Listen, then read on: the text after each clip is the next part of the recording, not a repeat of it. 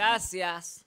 Tuve que, tuve que aquí protestar, me querían hacer coca con el tiempo. Bueno, que protestar. Gracias, Francis, gracias a todo el equipo de producción y gracias a la gente que nos ve. Hoy quiero hablar de un tema que yo espero que las, la, la juventud lo escuche y que la gente tome nota. Yo voy a dar un ejemplo vivo hoy de por qué hay que tomar notas. ¿Mm? Miren, hoy es 5 de agosto. de agosto. 5 de agosto. Ven, Junior. Ven, para que haga un enfoque aquí. 5 de agosto.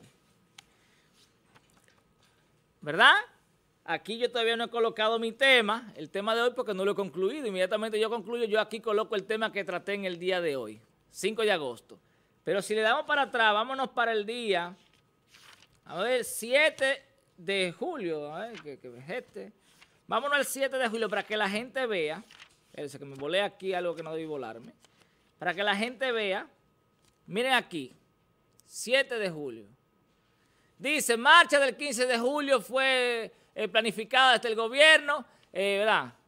Dije ahí el 7 de julio que la marcha contra el toque de queda que se estaba fraguando para el 15 de julio había sido planificada desde el gobierno, utilizando a Manuel Casals como herramienta. En ajedrez, cuando usted quiere proteger al rey de algo, usted coloca, yo no sé jugar mucho ajedrez, yo lo que sé mover piezas, pero sé cómo se mueve. Si veo que me van a atacar, mi, por ejemplo, la dama o la reina, como se dice, o me van a atacar una pieza importante, yo tengo que poner una pieza de, menor valor adelante para que, no me, para que no me desarmen y poder proteger las piezas más poderosas, en el caso hipotético, al rey. Entonces, Manuel Casals, que está en, una, en unos medios ahí, eh, RCC Media, eh, está también eh, en, déjenme ver en qué otro medio, en, eh, esto no es radio, estaba promoviendo una marcha que luego retiró. Ese día, el 7 de julio, pues se lo estoy mostrando, yo le dije a la sociedad, eso fue un bulto, preparado desde el gobierno como una cortina de humo para embullar a la gente. Hay gente de una vez que dice, no, eso no es así, porque la gente no entiende que cuando uno dice las cosas en función al, al estudio sistematizado de la conducta. Pues yo no soy un pendejo. Y aquí le voy a citar a Michel Foucault. ¿Y quién es Michel Foucault? Fue un filósofo, ¿verdad? Sociólogo francés, uno de los más citados en la época contemporánea de los más citados de la época contemporánea, un genio de la sociología. ¿Qué dice Michel Foucault? Vaya, búsquelo. Caramba, la gente que motivar a la juventud. Vaya, búsquese, entérese quién fue Michel Foucault, cuál era su planteamiento. Él hablaba del biopoder. ¿Qué es el biopoder, Junior? Tú lo tienes que saberlo, yo te quiero explicar eso. También Bio, habla aquí. bio es vida. el control de la sociedad, de la población. ¿Mm? Y le voy a leer algunos datos específicos. ¿Cuál es el objetivo del, del, biopoder según Michel Foucault? Bueno, administrar y controlar a las personas. ¿A través de qué? Del pensamiento. Entonces está la anatomopolítica y la biopolítica. La anatomopolítica es controlar a la gente en sentido general, ¿verdad? A través de la escuela, del ejército, de las empresas. Y entonces la biopolítica es controlar a la gente de manera individual. Lo que pasa es que cuando no se estudia eso, cuando no se entiende y cuando usted no lo pone en práctica, no lo ve. Entonces, ¿qué hacen los gobiernos? Utilizan esa metodología para controlar el pensamiento de la sociedad. ¿Cómo lo hacen?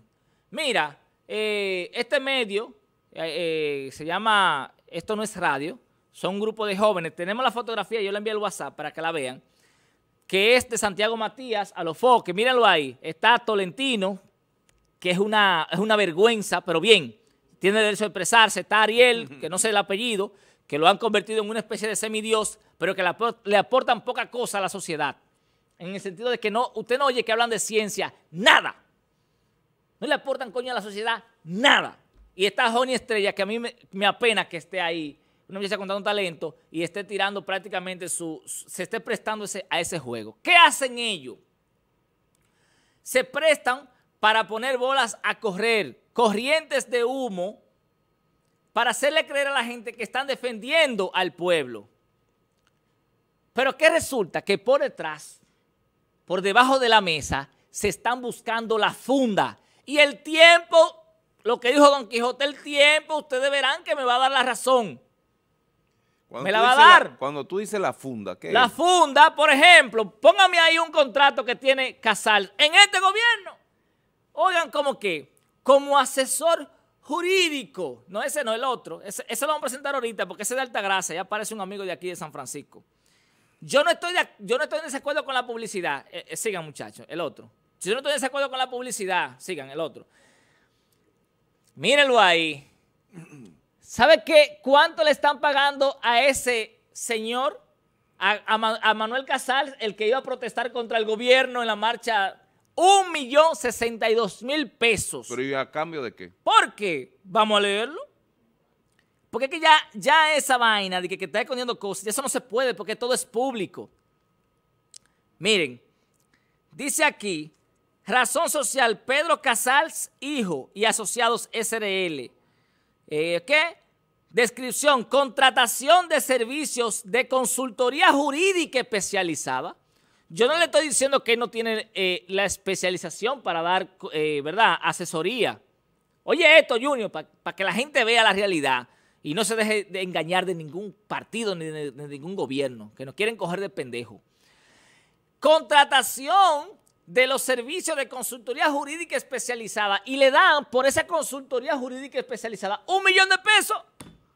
Ah, pero si, si consigue 10 durante los cuatro años, tiene 10 millones de pesos ya se buscó la funda. Coño, qué bueno es así, ¿eh? y entonces en un medio de comunicación, dándole funda a la oposición y tapando vaina. Para eso es que le pagan. ¿Están, entendiendo? Eh, ¿Es malo que yo le brinde un servicio al Estado? Claro que no. Lo que es malo es que yo le brinde un servicio al Estado y desde los medios de comunicación entonces esté atacando a la oposición, a los partidos de oposición, defendiendo el gobierno porque es que no se ve bien. Por eso yo digo que el comunicador que se compromete con una empresa, con una institución pública, ahí mismo se enterró. Lo digo y lo repito. Por eso que yo digo que yo no, yo no, yo no trabajaría en el Estado, por lo menos en, instituciones que tienen que ver con el gobierno. ¿Saben por qué?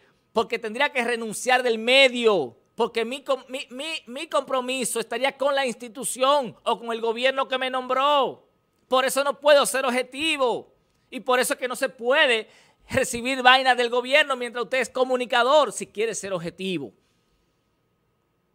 ¿O Fulvio puede atacar al gobierno? No lo puede hacer. O sea, me refiero de manera dura. Porque le van a decir, Fulvio, pero tú estás en el gobierno. ¿Nosotros qué hacemos? ¿Te, eh, te callas o te quitamos? Es por eso. Es por eso.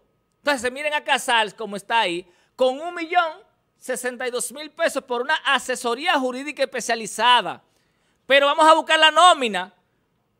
La vamos a traer la semana que viene. La nómina de medio ambiente. ¿Tiene una consultoría jurídica de medio ambiente, Francis?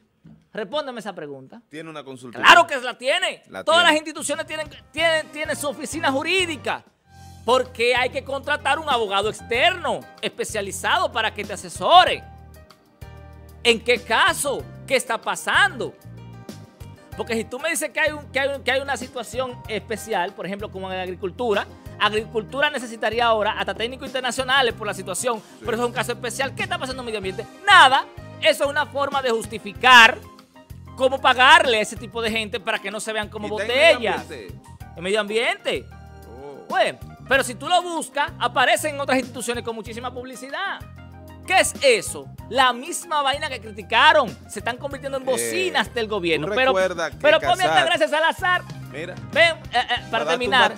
Ponme hasta gracias al azar ahí. para darte un y, a, y, Ale Díaz también. Le voy a dar un datito a, a Yarjan. ¿Tú, sí, coño, ¿Tú recuerdas que con el caso Muné se presentó aquí? Sí, Casal. Casal y el hijo Jorge Mera. Sí, Jorge Mera. Ellos dos son socios. son socios de, su oficina de abogados y ahora entiendo por qué. Claro, porque él y, eh, Vainita, el diputado, Jorge Mera, son panas. ¿Y quién es el dueño de, quién es el ministro de Medio Ambiente? Jorge Mera. Entonces hay una relación de amistad. ¿Y a quién van a nombrar? ¿A ya la antigua de San Francisco? No, vamos a nombrar a la gente nosotros, los que nos defienden. ¿Están entendiendo lo que decía Michel Foucault sobre la biopolítica? Y vamos a presentarle ahora a Altagracia Salazar. Ustedes vean, sí, vigilar y castigar. Para que ustedes vean. el texto de Foucault. A la independiente con un millón y pico de pesos en publicidad. Y yo diría, ¿está mal eso? Ya repollo No está mal que tú cobres publicidad, Altagracia. Pongan ahora las imágenes. No está mal. Lo que está mal es que tú te mantengas todo el tiempo atacando a los partidos de oposición y queriendo defender y taparlo del gobierno y tú atacando a los otros. Eso está ahí en, amplio, pero yo le hice un corto. Mírenlo ahí. Colocación de publicidad en sin maquillaje y sin cuento que se transmite de lunes a viernes de 6 a 8 a.m. ¿Por dónde? Por los canales 57 y 48, La Roda, que es lo que es La Roca, YouTube. ¿Cuánto dice ahí? Léemelo el otro ahí, Blacky. Un millón trescientos mil pesos en dos meses. Mira. Coño, qué bueno es así, ¿eh? Ya esa parte del trabajo que están trabajando. Ahora, lo que yo me estoy criticando es que no estamos nosotros aquí. No, porque el problema sería, el problema sería que, por ejemplo, pongan una publicidad en este programa y que, nos, y que nosotros comencemos a atacar a los partidos de oposición y a defender el gobierno, eso sí estaría mal, porque yo no critico la publicidad, porque eso es bueno. Ahora bien, lo que no puede ser es... El ser más equitativo y distribuir mejor esa... ¿Por qué, ¿por qué Altagracia Salazar no criticó los 100 millones que repartió Vaina, ¿cómo se llama? El hijo, de Peña Gómez. ¿Por qué no, no, no, ha, no ha hablado de la denuncia de Macarrulla? ¿Por qué no ha hablado del caso Kimberly? ¿Por qué no ha hablado del caso de, de las jeringuillas? ¿Por qué no ha hablado del caso de la licitación que le, que le, frenaron a educación? Porque están buscándose la funda, señores. Y lamentablemente tienen su palabra comprometida con el gobierno a través de eso, que no es más que un tigueraje. Un tigueraje de lo que ayer decían que eran independientes. ¿Están entendiendo lo que decía Michel Foucault? Es que nos quieren Deben utilizar. Ser más justos. Pero no solamente es el PRM, así también lo hizo el PLD y así también lo hizo el Reformista. Solamente que el Reformista te daba palo, el Reformista no daba, no daba cuarto, te mandaba a dar un saco de palo, como se dice, ¿verdad? Y entonces Lionel luego vino y, y utilizó ese mecanismo. En vez de nosotros estar en contra de los periodistas, vamos a acomodarlo. Así lo hizo Danilo y así también lo está haciendo el PRM. Qué pena.